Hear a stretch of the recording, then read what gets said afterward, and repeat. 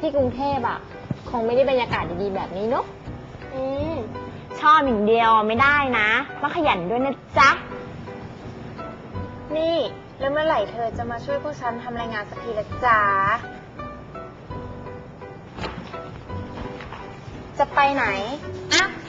ก็เธอให้ฉันเซิร์ชหาข้อมูลทางเน็ต ฉันก็จะไปร้านเน็ตอะสิ ก็โน้ตบุ๊กเธอล่ะ ก็เอามาต่อไวเลสแลนสิ แรงด้วยหรอ มีทั่วทั้งมหาลัยเลยจ้า ที่ไหนก็มีทั้งนั้นแหละ นี่เธอไม่รู้หรือเธอแกล้งอู้กันแน่ฮะ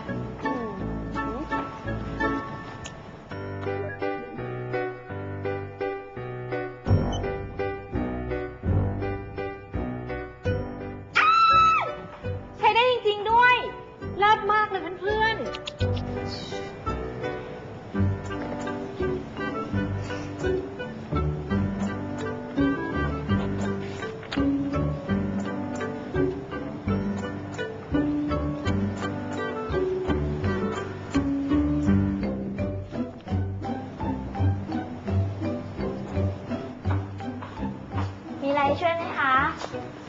อ๋อ ไม่เป็นไรครับ ยืมเล่มนี้ค่ะ อ๋อ ได้ค่ะ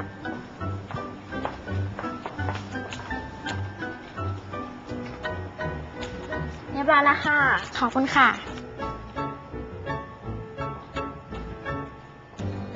นี่คุณเป็นเจ้าหน้าที่ที่นี่เหรอครับ ค่ะ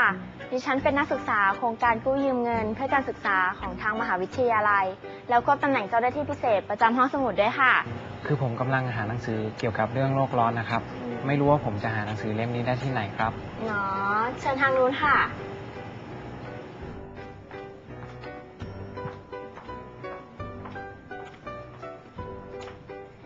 ที่นี่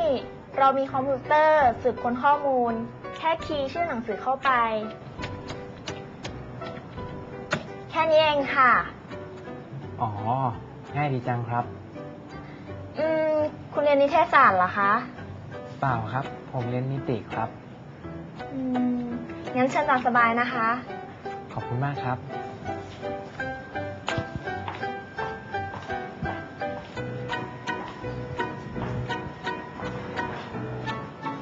งานครั้งนี้จะทำให้ทุกคนเห็นว่านิเทศศาสตร์ของเราเรียนรู้ที่จะรับผิดชอบสังคมอย่างจริงจังถ้านักศึกษาคนไหนต้องการจะใช้ห้องแลบหรือห้องสตูดิโอ ติดต่อได้ที่แลบบอยเลยนะคะๆอาจารย์คะ ค่ะ หนูขอเอาเพื่อนคณะอื่นมาร่วมเป็นทีมด้วยได้ไหมคะ ได้ค่ะ นักศึกษาสามารถขอความช่วยเหลือจากเพื่อนหรือรุ่นพี่ได้ทั้งมหาลัยเลยนะคะ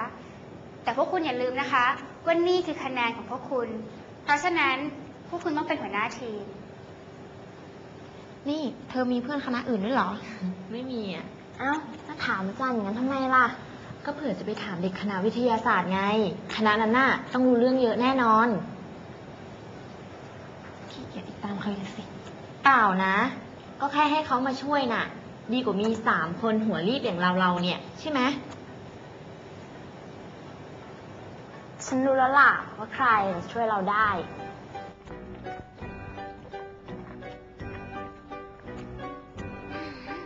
คณะนิติศาสตร์เนี่ยนะก้อย เออ โลกร้อนนี่เกี่ยวกับกฎหมายได้วยเหรอก้อย หืมบ้า ฉันมาหาเพื่อนคนหนึ่งที่เจอที่ห้องสมุดน่ะ เขากำลังค้นคว้าเกี่ยวกับเรื่องโรคร้อนเผื่อเขาจะช่วยเราได้นะ อ๋อ แล้วเขาชื่ออะไรล่ะ ไม่รู้จ้ะตายคุณก้อยขาคณะนิติศาสตร์เนี่ยมีนักศึกษาเป็นร้อย แล้วจะรู้ไหมคะเนี่ยว่าอยู่ไหน อืมเอาเถอะหน้าต้องมีสักที่แหละ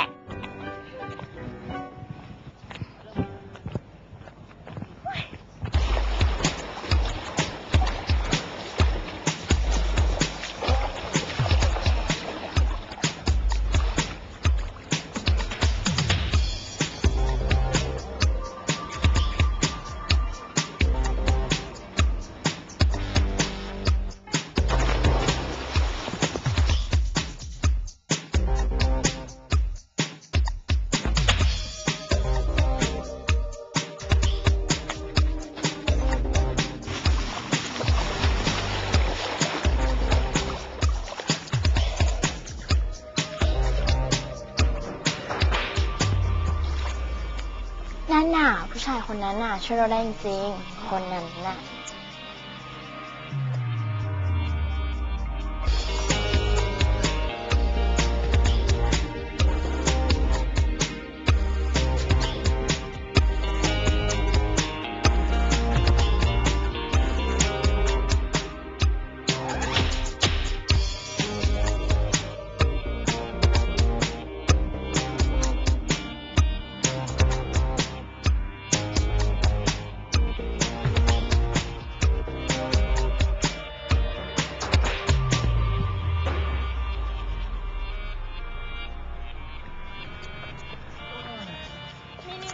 โปรเจกต์โลกร้อนของเราอะ เสร็จแล้วจ้า เก่งค่ะเก่งโจกับกุ้งเลยเก่งมากๆเลย ช่วยเราได้เยอะเลยเนาะ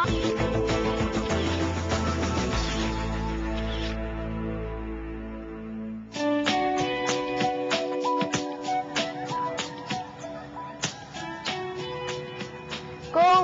เราดีใจนะ ปีหน้า เราก็จะกลับมารับปริญญาแล้ว